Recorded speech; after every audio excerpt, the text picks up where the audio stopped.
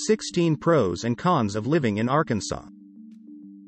Arkansas is an interesting place.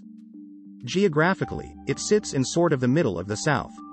It is not really considered a state that people go out of their way to move to. However, tourism is quite high for some amazing reasons. If you have ever wanted to learn more about the natural state, stay tuned. We are going to be talking about diamonds, scenic views, and an obsession with a particular type of hog. You know, for college reasons. Pros of living in Arkansas. 1. Nature.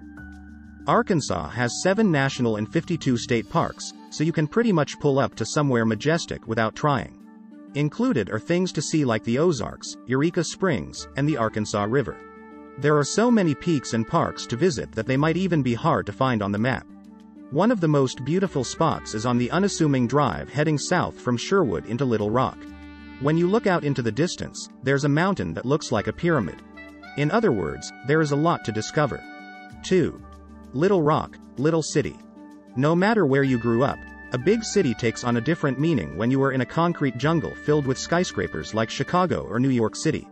If you were actually from one of those and are looking for something that's easier to breathe in, that is Little Rock. The capital is pretty quiet on the weekend unless you are at the farmer's market downtown. The river runs right through the middle, which comes with more fun activities.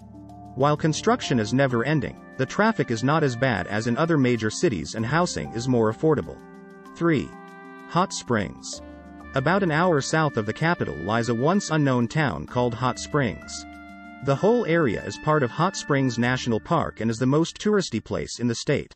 Thanks to Lake Hamilton and Bathhouse Row, the population swells with visitors on holidays, weekends, and school breaks. Behind the fun of what it is now, there's a darker past involving the mob. Founded originally for the natural hot springs, history has become just as much of a draw. 4.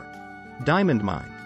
The only diamond producing mine in the U.S. is located in Murfreesboro, AR. In the 911 acre crater of Diamond State Park, the whole family can gain access to finding diamonds. This is the only place in the world where the public can just walk into a place known for diamonds. With a policy like, Finders, keepers, there's no question as to why this is such a hot spot. 5. Things to do. No matter what part of the state you are in, there is always something exciting to do nearby.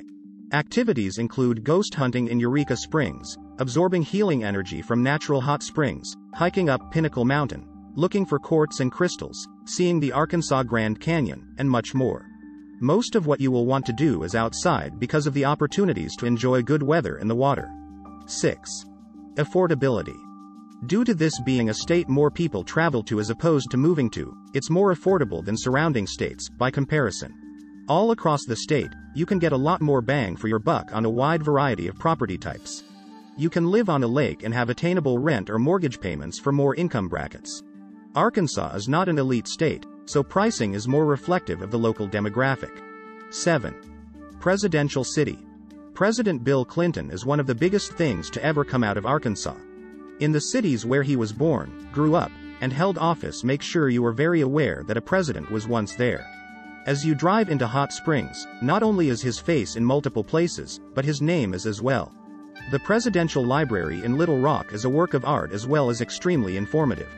It is likely that because of him, the city is cleaner than you would expect. 8. Proximity. Everyone knows when it comes to real estate, the number one quality is location, location, location. Arkansas may be landlocked, but the surrounding states have a lot to offer. While the natural state may not be one of the most popular kids in school, it does neighbor a few. Bigger cities in a short driving range from Arkansas include Dallas, Fort Worth, Shreveport, Jackson, Memphis, Oklahoma City, Tulsa, Springfield, St. Louis, and Kansas City. Cons of living in Arkansas. 1. Unwelcoming behavior. The lower part of the country is known for southern hospitality. Unfortunately, it seems Arkansas is just north enough to not employ the sentiment.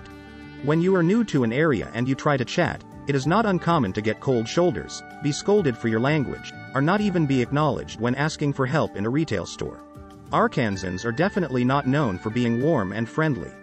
2. Bad parts of town. Little Rock is in the top 10 most dangerous cities in the country, as is another Arkansas city. Beyond the top 10, there are five Arkansas cities in total within the top 50 most dangerous. Aside from violent crimes, Little Rock and the surrounding area have an abnormally high amount of drug activity and arrests. There are certain parts of town people are uncomfortable going to because of how flooded the area is with drug dealers. 3. Almost unincorporated. There is a downside to having so many beautiful things to see in a state. Because green spaces are in such abundance, a lot of towns are super tiny. There really are not many cities big enough where you can function properly. For example, most of these areas have no reception and often have no widespread internet. Not ideal if you are a remote worker. If you are used to that kind of living, it is no big deal, but if you are not, it is quite an adjustment. 4. State tax on car sales. If you have never bought a used car in Arkansas, do not start now. Unlike other states, the state sales tax is due when you get your car registered, as opposed to a dealership adding the cost in with the payments. So, you would be shocked to find out a car you took out a loan on is going to cost you over $900 to get a tag. It used to be such a burden on residents that a law was passed to ease the need for such massive payments. It no longer qualifies for cars under a certain amount, but it is still there. 5. Tourist towns as a resident. It is all fun and games until it is home. Because Arkansas relies so much on tourism, they throw everything into it. So, you may be visiting thinking about how fun a particular city is. Once the season ends, those cities that seemed so full of life practically go silent. Local governments do not put much thought into activities unless they are geared toward travelers, which can be disappointing. That means there are not a lot of chances to get involved in the community. 6. Government in the past.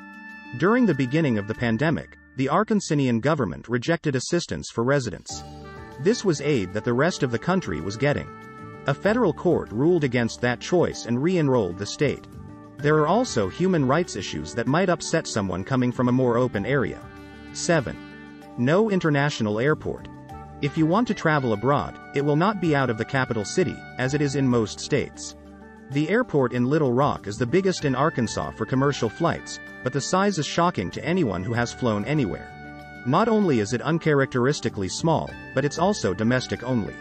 Flights out of Bill and Hillary Clinton National Airport are more expensive and keep you inland.